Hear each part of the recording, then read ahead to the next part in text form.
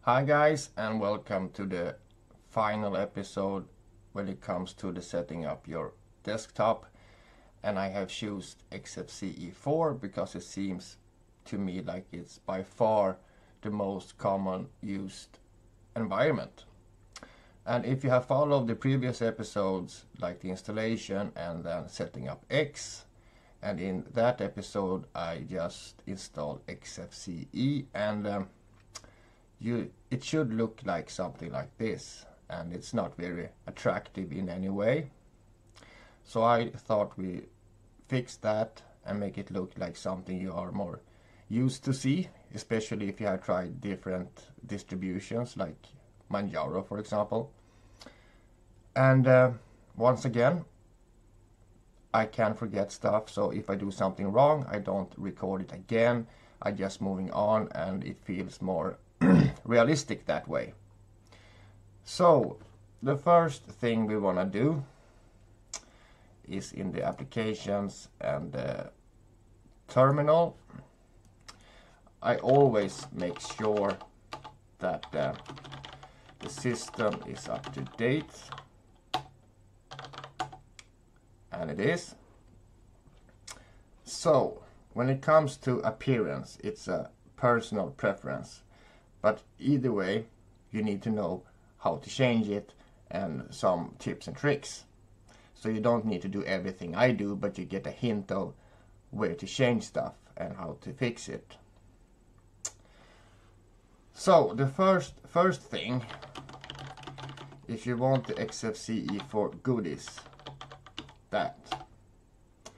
And as you see, it contains a lot of stuff. The plugin for Thunar, the media tags, a lot of different utilities, the screenshot stuff, the whisker menu, the mouse pad. So just press everything because you will need all that. You get some wallpapers and common stuff. And then we will need the XDG user DIRs and I will show you what that is in a little bit. Otherwise, after that, it's just a matter of this is a good time to get uh, good stuff like Firefox is a good thing. I prefer Geany for editing files. You can do Blender, GIMP and all you can think of. I will post some, I'll paste some useful programs in the description below just to give you a good start with your desktop. But for now I'm happy with that. And just this warning stuff is I have already installed Firefox but uh, I'm just doing it again so you can see. And screen fetch, I like screen fetch. I can't remember if I installed it. Yep, I have, but we do it again. Now, the XDG user dir, what was that? Well, if you go into your home, you see it's not like it's supposed to be. So, run this command, update. Sorry. That one. Okay? And this is just because I have done this already. If you run it it will not show this stuffs. So we need to log in and log out. We do that. Log out log out. Log in. Hmm it should be there. Maybe it messed up when I redid it. Hmm. Well, moving on, we'll get back to that later. So, the panels. I don't like this at all. Again, it's a personal preference. But like this little thing, I don't like that. Gone. And I prefer to have mine at the bottom and once you are in the panel settings, like this desktop stuff. I don't use that. I never ever do that. I'm happy with one. So you go into items and the desktop switcher, workspace switcher, gone. The clock is a good thing. And if you press this plus button, you get a lot of stuff you can just add to your menu. Uh, one popular thing seems to be this weather. So we add that. And here you can move, now the weather is to the right, I want it next to the clock on the left side. So just move it up, go into that, and here you can change where you are. And I am in this little village in Sweden. Okay, close. You see, now we have a perfectly nice weather, which is, it seems that like it's mandatory in every single distribution, and it, of some reason, people seems to find it so so awesome. But come on, it's just a standard XFCE4 item. And this menu is the stock one. If you want, you can add the also quite popular whisker menu. Add, close, move that up, and then you can remove the stock one. Remove, close. And look, it started to look just like the distributions.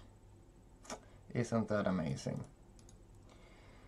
So in desktop settings, now you will see you have a bit more wallpapers, but I can't say any of them is pretty nice. So, go into your home, show your hidden folders, sorry. We need Firefox.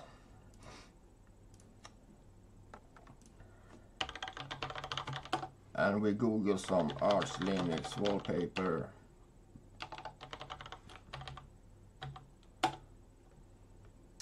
let's see take something more attractive feel free to do whatever you want or take whatever you want but I go with uh, that yeah I, we, we take that for now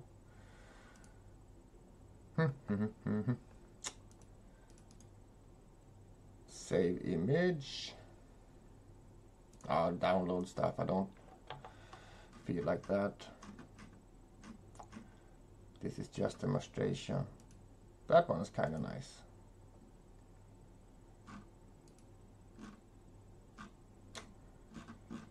Download, download, download. 1920 by 1080. Not here. Odd again. Either way, I take that an uh, anyway. I just want to show you something.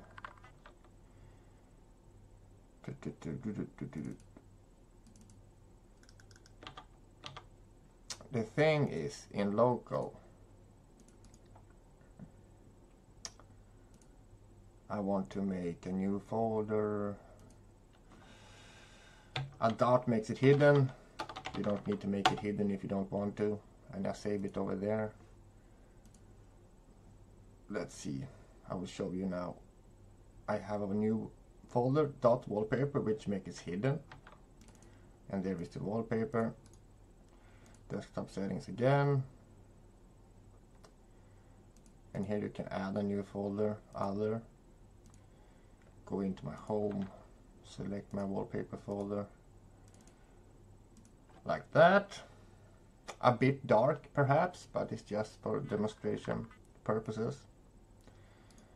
So I go back again and take mm -mm -mm, another wallpaper, I believe. It was a bit too dark.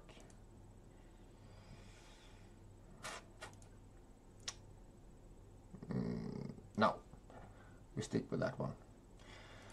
So as you see, now it's more kind of the way you are used to see it. Perhaps. But then the, the terminal. we need to make it look a little bit more attractive, at least to me. So we do a little bit transparency, not too much, maybe like that. Hmm. Yeah, kinda easy to see. So I want the screen fetch to launch when I launch the terminal. nano.bash rc add the line screen fetch. Save and exit.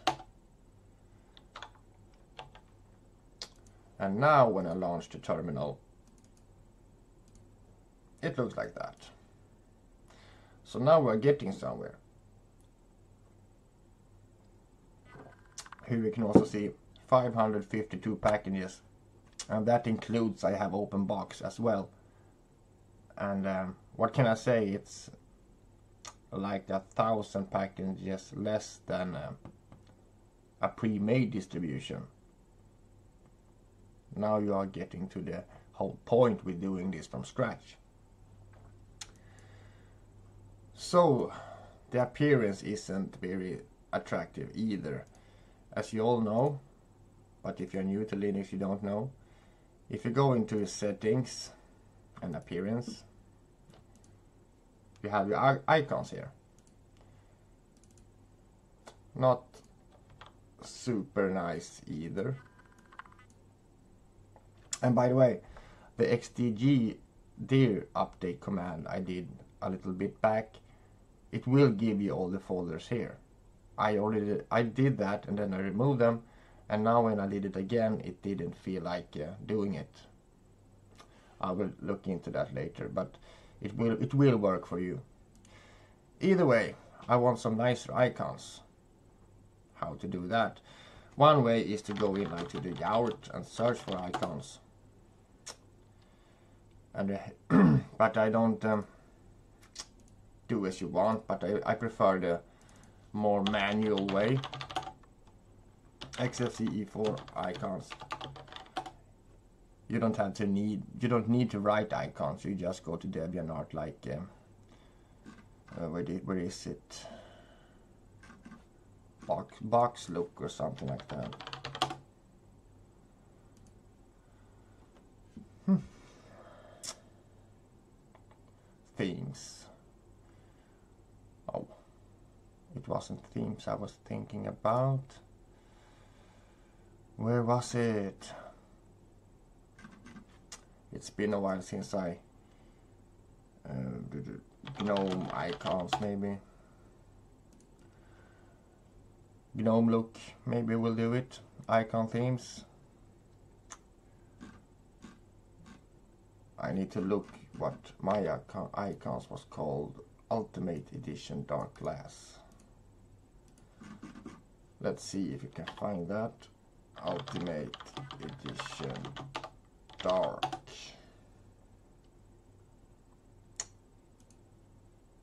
Come on and search. Alright, moving on, taking something else. Obsidian. Well, why not? It looks quite familiar, doesn't it? Well, we take that one. It's always hard to find a download button on these sites.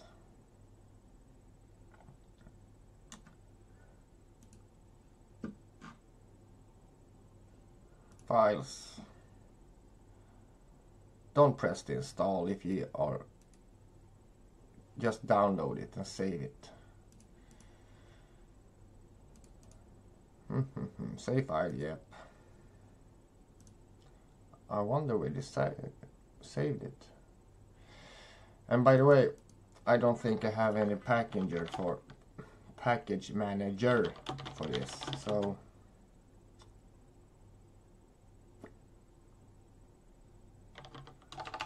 I believe file roller is a good application.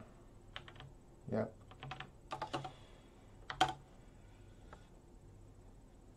Now we can unzip which is a kind of nice thing if you're downloading something I really hate my slow internet.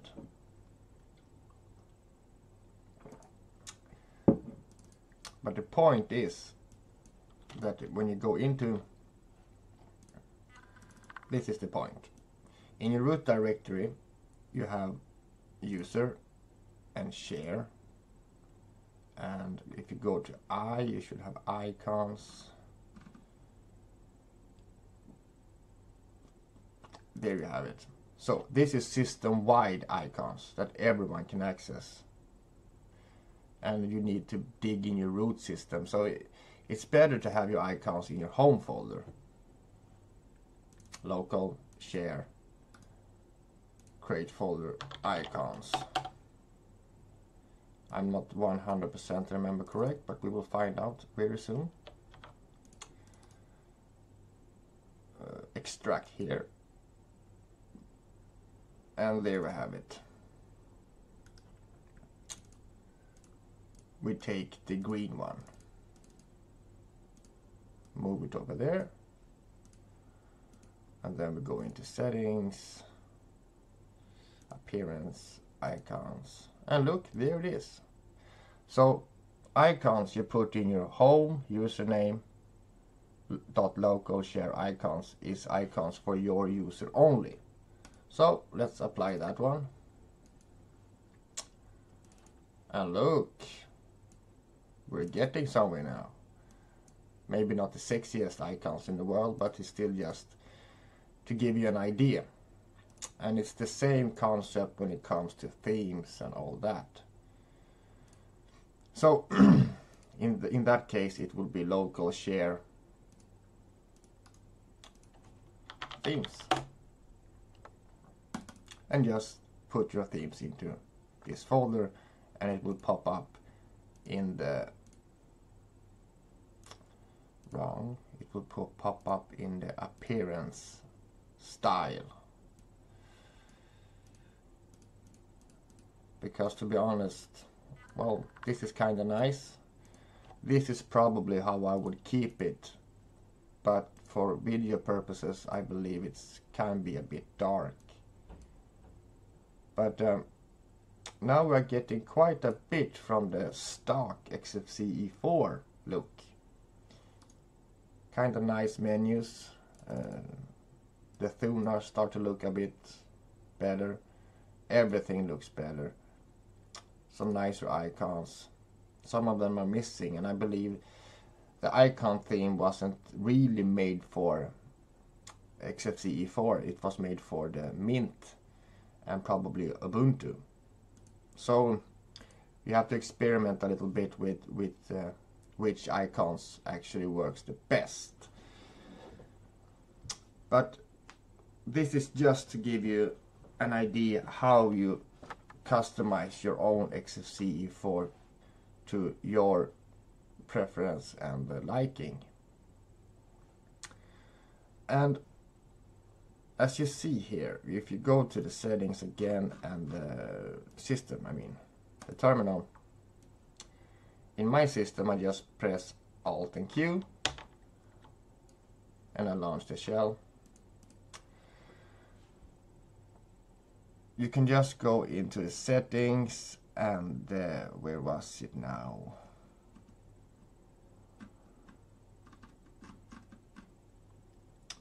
I actually prefer the stock menu. It's um, easier to find stuff.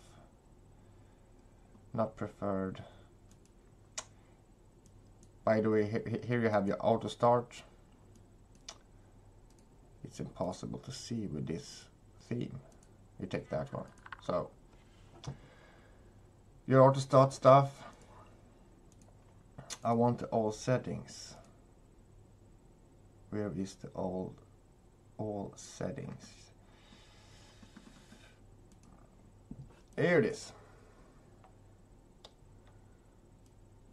You see some icons are missing, so that icon set didn't really do the trick.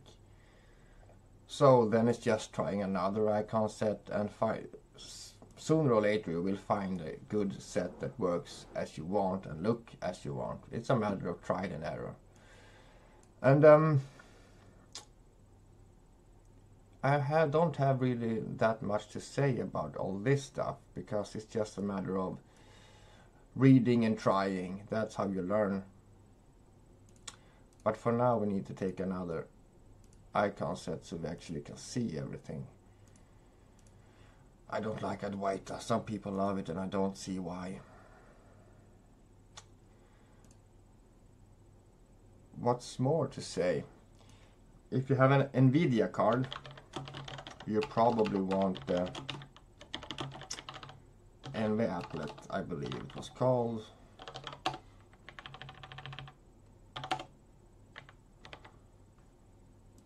Then we look in my own system.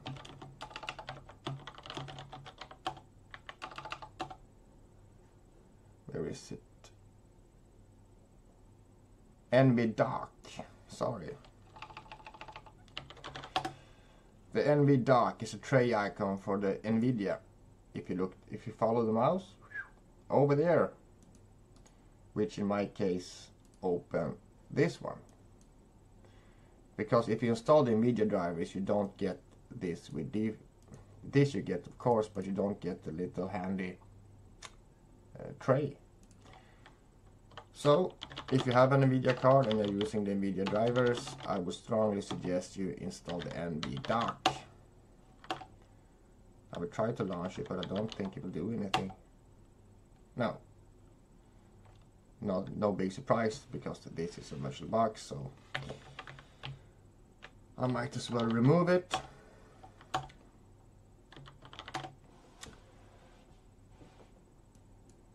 But now, this looks like just like a pre-made distribution that is super duper awesome. But it's not. It's a system that you have made from scratch. It's a system that have the stuff you need and your computer needs.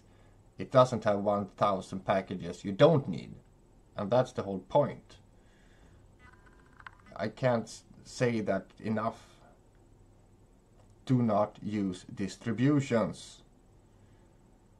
You can look you, you can make it look just as you want. If you do these three videos again and again and again, I would guess that with a fast internet connection you can probably install Arch and make it look as you want in like 30 minutes.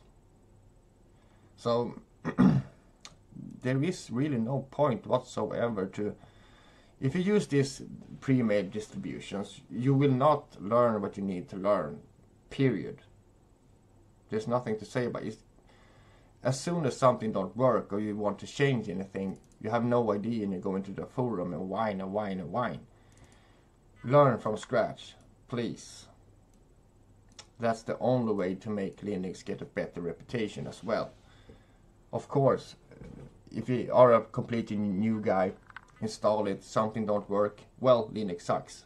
No, that's not the case. Absolutely not. But of course, you run into problem like I did now. The XDG dir update don't create my folders.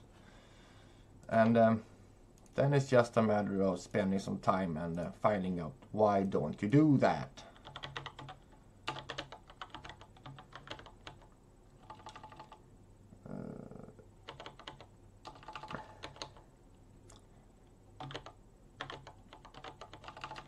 There's update. Please try a sudo.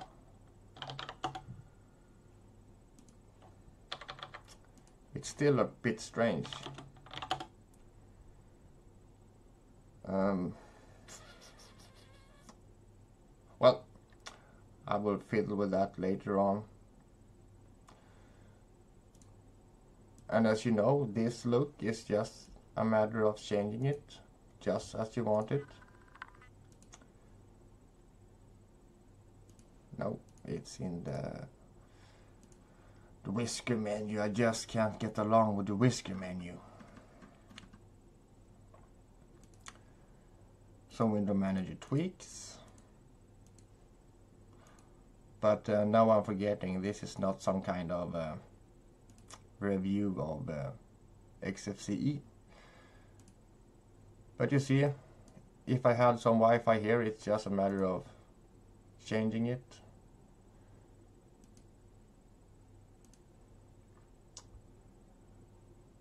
and uh, yeah this should be enough to get you going and uh, give you enough knowledge to create your XFCE4 just as you want it and actually I'm gonna go back to the items. Boom. Remove the whisker menus. I prefer the stock one. Like that. Applications. Uh, settings settings settings settings manager.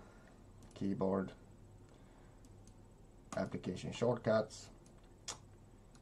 Yeah and here's the thing settings keyboard application shortcuts. Here you can just add whatever you want.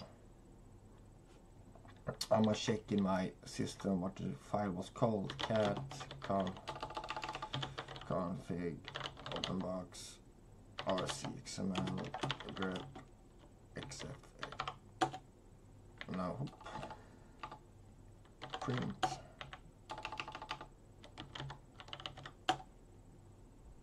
mm-hmm. I have I haven't fixed that. Anyway what I'm mumbling about is that you can just press add in command.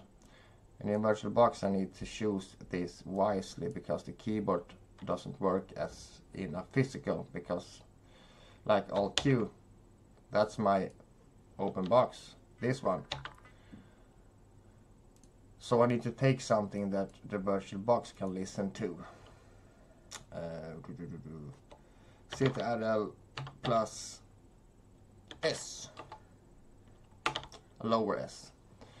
In my case, that will be screenshot.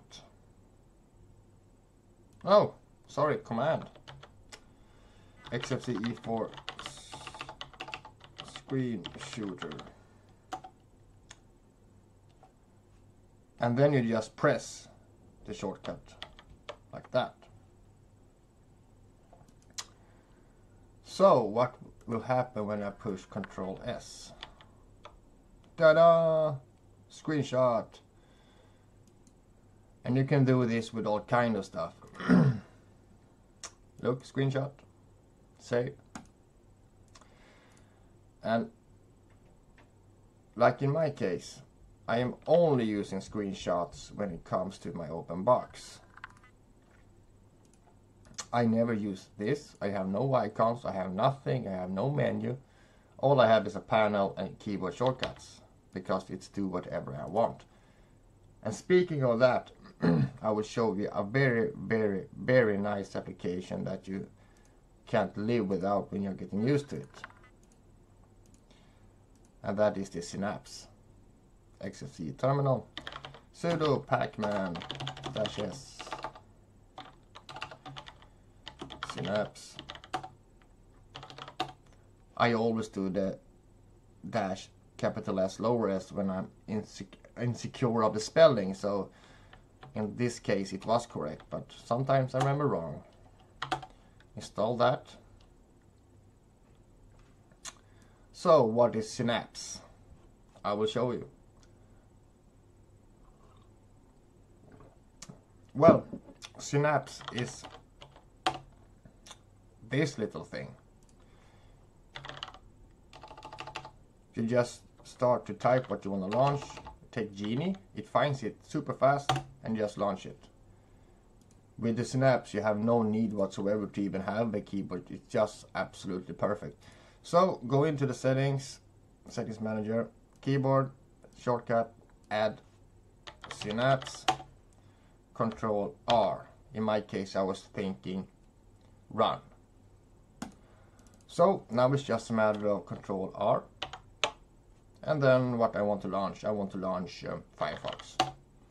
Like that. It's amazing.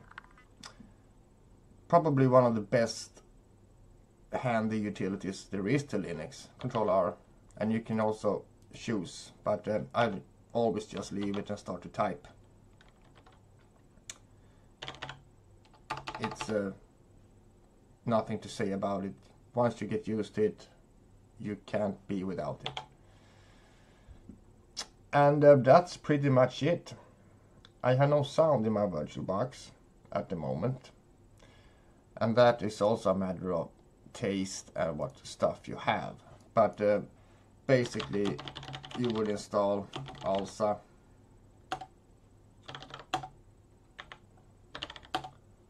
Come on, what was the name of it? I don't use also. Uh, Pulse Audio. Yep. Let's install that. But you want a volume icon, so I don't know, you can use pavucontrol. Yes. And I launched that.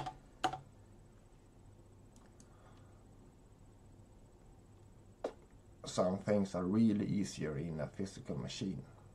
Either way, you will get an icon here where you can choose your volume. So now you have pretty much everything you're used to in a pre-made distribution, but you have made it yourself. And doesn't that feel very good? You know what you have and you know why you have it. And the most important part, which I can't say too many times, now we are in 570 packages. And I promise most of the more comprehensive distributions that support anything on the planet will have easily 1000 packages more. For what good do you want that? So, I will post a little list at the, in the end of the description here below because you want some just go crazy with the Conky Geany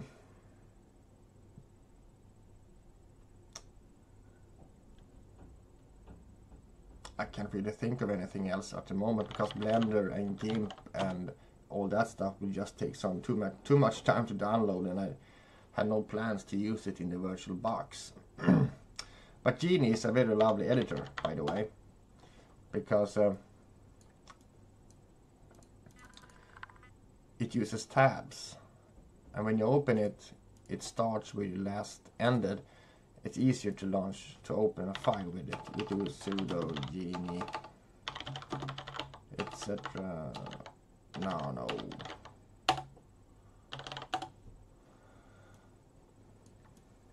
So this is how it will look in real life. it's color coded and uh, well give it a go if you are, are working with uh, scripts or stuff like that. Also, if you have some smaller, like Notepad in Windows, you can just install Mousepad, which already had. I forgot. It's a part of XFCE4 goodies. This is just like Notepad in Windows. And uh, I apologize for the uh, like uh, insecure, fumbly appearance. But uh, one, I'm tired. Two, I'm not really used to this yet. And as I said, I could record this absolutely flawless, but I don't do that because I want you to see that I have used Arch since 2009, I believe. But some stuff is so, so it can be years between the times I do it, so of course I forget. But either way, that's that. And next time I was thinking about OpenBox. And many things you can share between XFCE4 and OpenBox. Like icon sets and uh, all kind of stuff. So once you have OpenBox, you really just need Tint 2 and Nitrogen to make it look like this. Like um, the best file manager, in my opinion, for the OpenBox is Thunar, and you have Thunar. This is Thunar, so get OpenBox up and running when you have XFCE4 is a breeze. So that's it for now. Please experiment a little bit. And um, if you have any questions, just let me know and I answer ASAP and I will do my best to help you. And I wish you very luck. And I hope you have followed all these three episodes and managed to get it working as you want. And uh, in that case, take a cup of coffee, tap yourself on the shoulder, and I'll see you later. Bye.